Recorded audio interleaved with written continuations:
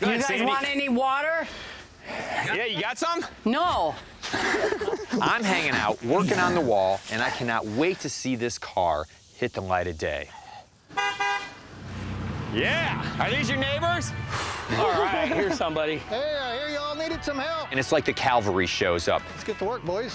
Thank you, I appreciate it, man. Thank you so much. Yeah. These guys go to town. Frankie and I just kind of step back. They've got the right tools, they got the nail pullers, they've got the crowbars, they're popping it all off. In South Dakota, your houses are far apart, but your neighbors obviously aren't far away. Here it is, guys. There it is. Ready? And as soon as the panels start coming off, I'm getting excited because now it's really happening. There it is. Wow. Baby seeing the light of day. Here comes Art. Man, this guy ain't messing around. So is this your neighbor too? Yeah, he's a neighbor. God, you gotta have, you got some good again. neighbors. Oh, I want to see it. Look at that, look at that, he's getting it.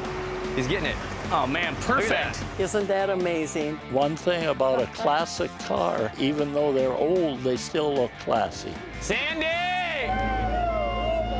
I think they were just as happy to see the car hit the daylight as well because it's been a long journey with this thing. Here we go. There it is, you got it? All right. It's an emotional goodbye.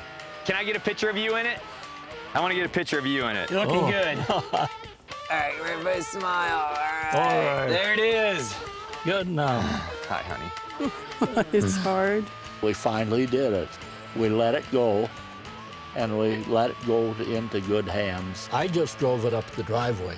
That's it. Yeah. You never drove it any farther than that? No. Well, I'll tell you what, if we get this thing running, Uh. which I know we're gonna, I'm gonna bring it back here and you're gonna drive it. You wanna do that? Oh, that'll be wonderful. It won't go into a junk pile. It'll be restored and everybody can look at it and enjoy it.